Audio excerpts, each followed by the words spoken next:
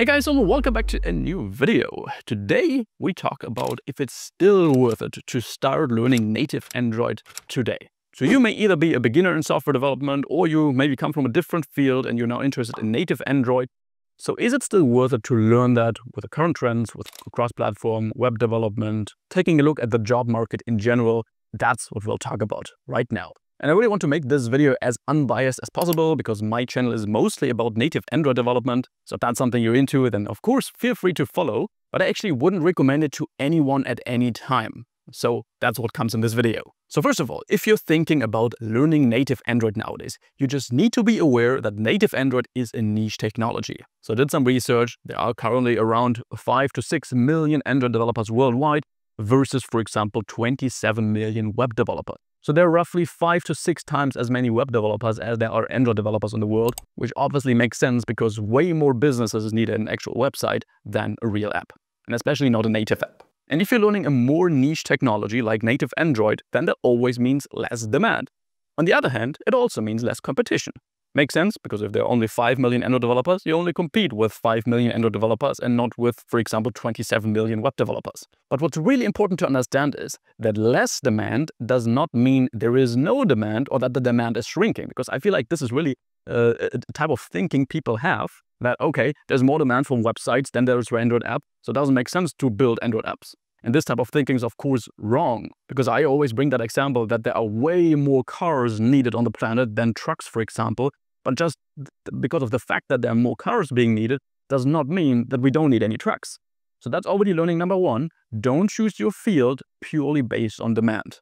However, we need to be fair that the job market currently is a bit more welcoming for web developers. And I mostly compare Android here to web developers because that's just the, the biggest portion of developers, but of course there, there are more fields you could dive into. So native Android does have quite some open positions, but many of them are currently for senior roles.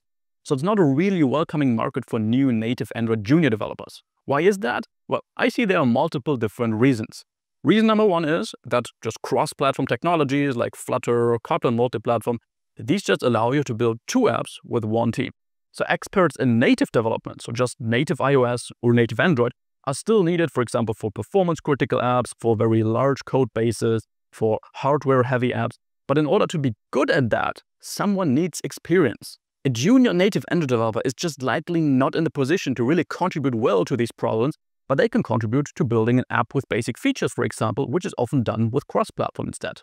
So you won't be able to just watch a native Android crash course and then uh, someone could take you, put you in a big code base and you spot all those performance bottlenecks. No, that actually requires experience. But on the other hand, if someone says, okay, we just need to build a simple two, three, four screen app with a database, maybe talking to an API, then these are pretty basic things you can learn fairly quickly. And therefore there is there is a, a place for junior developers when learning cross-platform and building these rather small apps. Because for these small apps that are just very data-driven, talk to an API, database, and that kind of stuff, for these types of apps, it often makes a lot more sense for a business to actually build these with a cross-platform framework. And reason number two why I think that there is currently more demand in native Android for senior developers is that there are just a lot of existing large code bases that need to be maintained.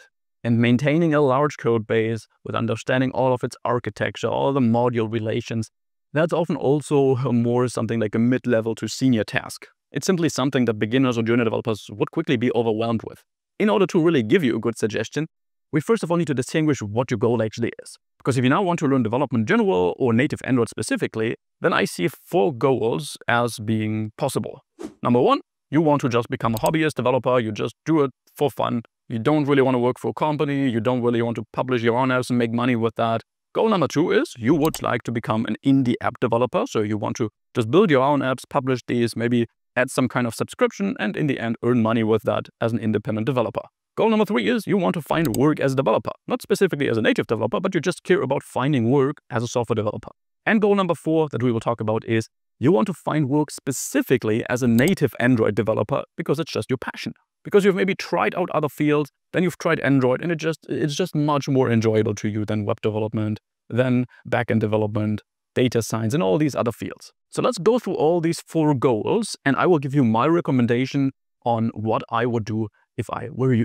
If you just want to code for a hobby, you want to learn native Android because you just want to build native Android apps as a hobby, then this one is pretty easy. Focus 100% on what you enjoy the most. just learn native Android development in that case, because in that case, you don't really need to let market trends restrict you if you're mainly looking for fun.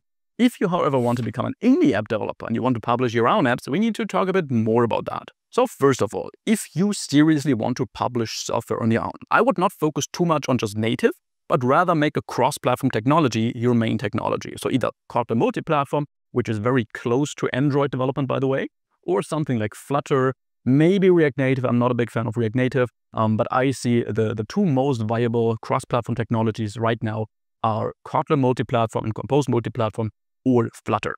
But otherwise, if you actually want to publish your own kind of app, you would need to learn two quite different technologies to bring out an app for both platforms. And maybe you've heard about that iOS users are typically willing to pay more, so it's not really an option to not build an iOS app at all. You typically need two apps if you really want to make money or build a business around an app.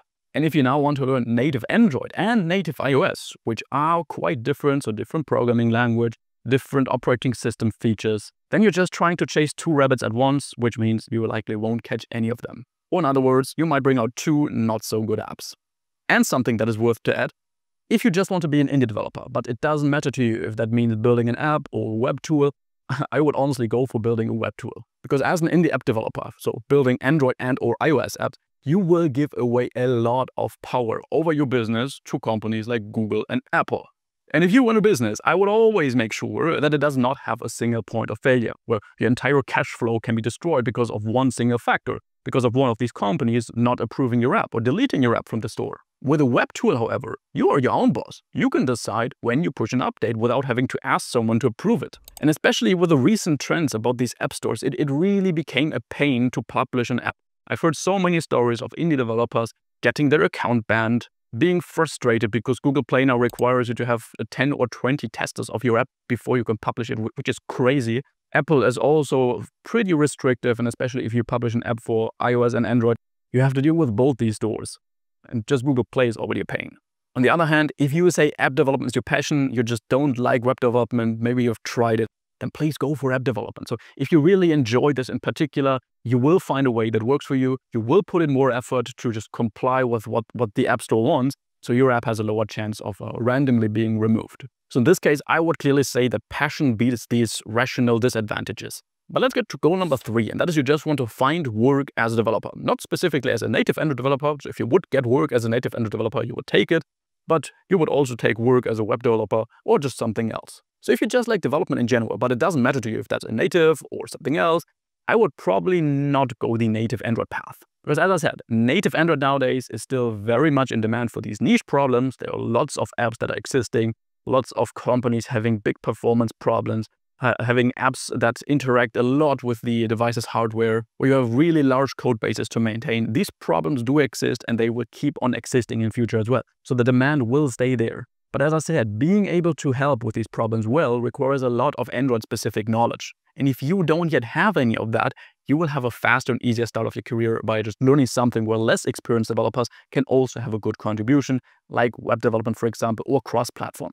And again, if you say you, you still like native Android, but this is also a big thing for you that you really want to find work, then why not take a look at Kotlin multi-platform? There are really more and more job positions that are opening for this technology, and it's really close to Android development. So you work with the same programming language, uh, you work with the same UI framework nowadays as well with uh, Jetpack Compose. And really, I would say 80% of a code base is pretty platform independent with Kotlin multi-platform. And here and there, you will still have to do with native. Sometimes you need to write certain functionality that is only relevant for native Android because an API works just a bit differently there. Sometimes you do this for iOS. So you still have a little bit to do with these native platforms, but most of your code um, is really just about sharing the same type of logic, uh, interacting with the same database, interacting with the same API, having the same looks in your UI, um, and, and, then you can just perfectly make use of Flutter, Kotlin multi-platform. And for that, it will also be easier to find work if you're not that experienced yet. But what if you now say, hey, Philipp, I am so excited about native Android, about Android as an operating system.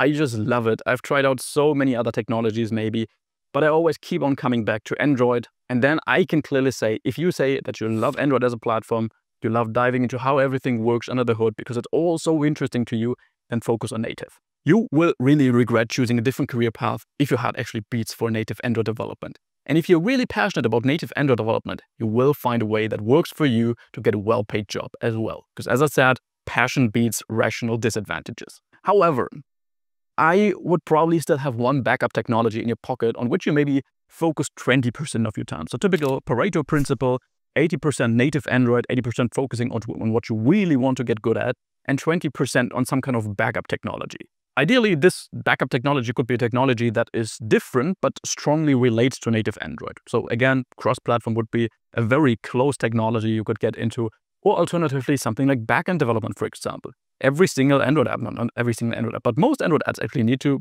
interact with some kind of server. So it will also help you a lot to actually understand the server-based backend development because this, again, will make you a better Android developer since you need to interact with servers so often. So I would really just get a basic understanding for something else like Flutter, Kotlin multi-platform, um, a server-based framework. For example, Spring Boot is a perfect backend framework that you can learn if you're a Kotlin developer, if you, if you like native Android, because Spring Boot is a very established backend framework you can also spend time for um, if you know Kotlin, because it's Java-based, but everything that is Java-based, we can also um, write Kotlin code in. Alternatively, Ktor would also be a backend framework that is purely Kotlin-based, so the framework itself was also built with Kotlin, but Ktor itself is not that established on the market yet, and I think it will take a long while until it will be, if it will be. So for serious backend development, if you're really looking for a job or use this as a backup technology, um, I would rather stick to Spring Boot if you're a native Android developer and you already know Java or Kotlin. But again, I want to be clear that if you're picking this path of becoming a native Android developer as your, as your main thing, then you will have to do more than in other fields in order to get a good job. So this might mean that you have to build a great portfolio of really, really well-built Android apps with good design to show off what you know. My Mobile Dev Campus helps with that. You could mockups, all that stuff, link below. But if you pick this path of becoming a native Android developer, go the extra mile. Do more than others, learn more than others, invest more in yourself than others, build better apps than others. And if you do that, you will have a very bright future as a native Android developer even nowadays. Because I personally went exactly that same path. I just love Android development. I like Kotlin as a language, and Android is just the main platform for which we can use Kotlin as a language. I just like building things you always have in your pocket. I like interacting with all those uh, mobile device specific hardware like a sensor, GPS, uh, internet, Wi-Fi, because lots of these you don't encounter in your in, in backend development or maybe in desktop development. And I just really like working with that. Android is my passion. I love it. And I also find clients who, who need my native Android expertise. But from my experience, I can really say that if someone approaches me and says, Philipp, I, I need your help in native Android, then it's typically around these problems that I mentioned. So, hey, um, I have compose code and uh, the performance is bad. I have performance problem somewhere else in the app. We have a big code base. Um, can you help us with the architecture? And it's rather rarely the case that someone approaches me and says, Philipp, um, I have an idea for an app. You need to build it from scratch to, to really finish it and publish it all in native Android. That does happen, but not very often. So if you say you like Android as much as I do, then please, please focus on that follow your passion in that case, and you will find a way to make this work for you. And if that's actually your pick, then I actually have a new course for you, which launches on Sunday in a few days. It's about Android internals, but all in a practical way that is extremely useful in the real world as a native Android developer. So in that upcoming Android internals course, you will learn about the OS system architecture, about how activities work under the hood, um, IPC, so inter-process communication, memory management, view model internals, all these uh, Android related things, how these work together under the hood. So you become a way better Android developer overall because you understand all those whys behind what you're doing. So understanding why certain things are the way they are. Launches on Sunday. Check my channel in case that's interesting for you. And other than that, thanks so much for watching. I will see you then back in the next video. Have an amazing rest of your week. Bye bye.